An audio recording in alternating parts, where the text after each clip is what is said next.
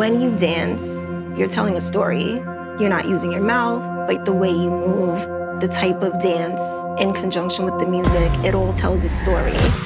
The audience, like taking them on this journey with you and bringing a good portion of yourself to the performance which breakdancing is built upon. That's how it started. It was an opportunity for the youth in the Bronx to gather, to create self-expression.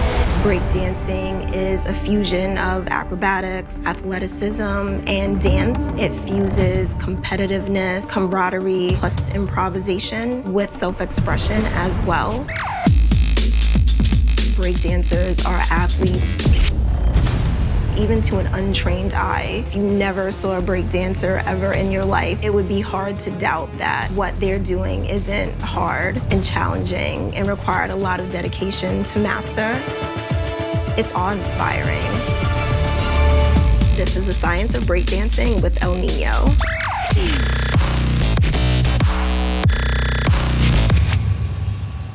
My name is Amy Skinner. I am a physician assistant at HSS. I'm also a provider in the Performing Arts Medicine Collaborative, where we connect performing artists with physicians, physical therapists, and nutritionists to help them get back on the stage to share their gifts with the world.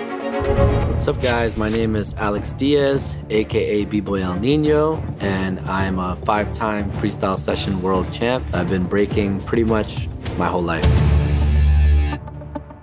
So breaking is a combination of hip hop, 90s party dances, capoeira, kung fu, gymnastics, salsa, young kids in the Bronx trying to express themselves. Very humble beginnings in the 1970s, starting at parties, gathering, dance battles. It grew to different cities, states, countries.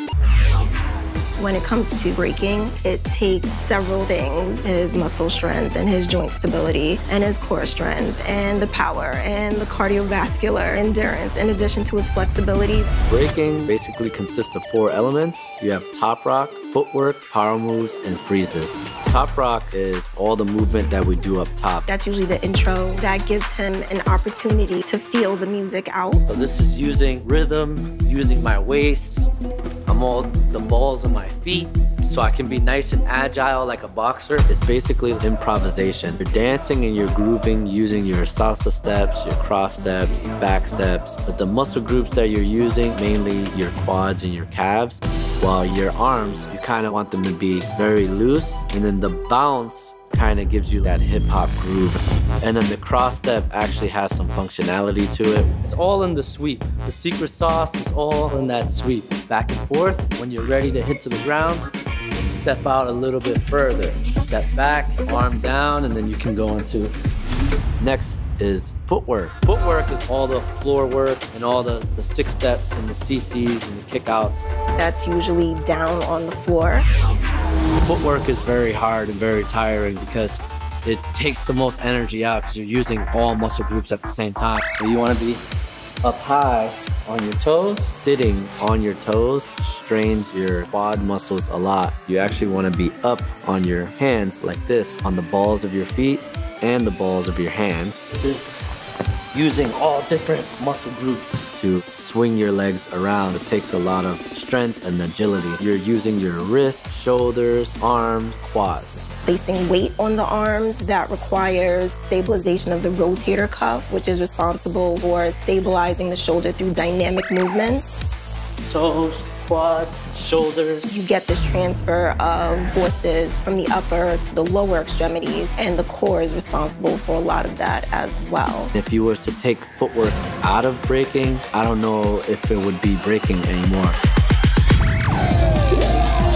Power moves are all the spins that we do power moves give the dance kind of that wow factor. Some of these movements are using every part of the body. So I started off with an air flare, which is one of the hardest moves to do. And even to an untrained eye, you can tell that this is something that is hard, something that takes a lot of time and effort to nail down and master. Strength, momentum, speed, and controlling that speed. Velocity. It requires a lot of torque and force of the upper body to generate You're trying to develop speed by whipping. The whip comes from the legs and the core. Similar to ice skating, he would have to twist his upper body in order to get down. Once you develop that whip, you're then trying to harness that energy and you're trying to push your body out to continue the spins. You're using all core, your wrists, shoulders, and then you're pushing your body weight. So you need a lot of upper body strength. If he drops into a head spin, then you get the musculature like the sternocleidomastoid muscles that have to support the neck. You're using your neck,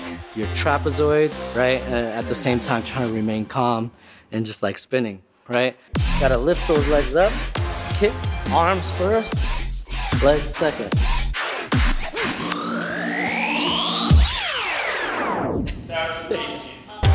What makes him really amazing as an athlete is that he's able to string together a series of power moves. I combine power moves by doing a bunch of them and connecting different power moves all at once. Which is particularly challenging, but also fitting to his name, El Nino. He wouldn't get that name if he wasn't known for something very dynamic and powerful. So I might do flare, windmill, air flare, windmill, 90, headspin, right? So I like my combinations are up and down, up and down, and fast.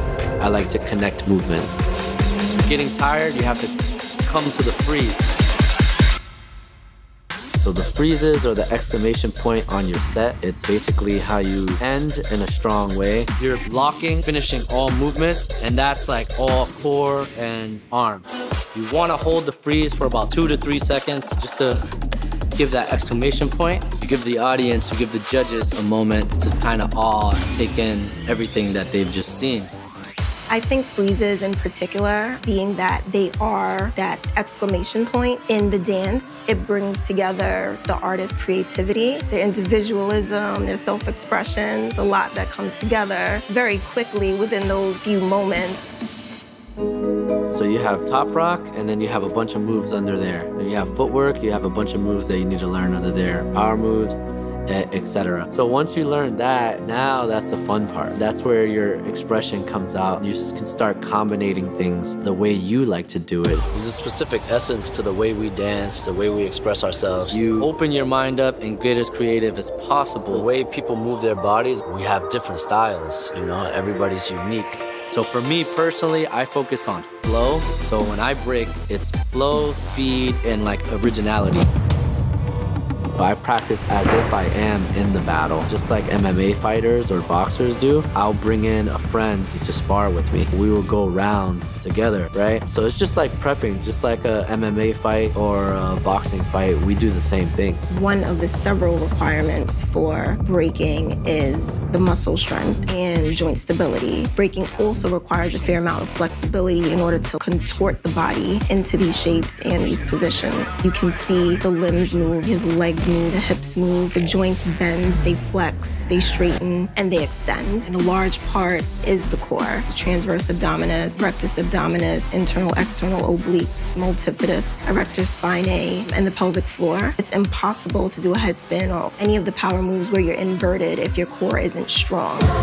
What does it take to be the greatest? Um, I think it takes dedication, will, willingness to go above and beyond. A love and a dedication for what you're doing. It gets you over the hurdles, even when it's hard, even when it's challenging with breakdancing being that you are able to show yourself, to be creative, it's really easy for the audience to connect with you. What I always say about breaking, you train like an athlete, but you have to flow and think like an artist. Right. That's a, fire. And you do that, you move on the floor, then you move the audience. Right. The creativity, the self expression, the practice, the dedication, the time. It's just ready to go. Is amazing.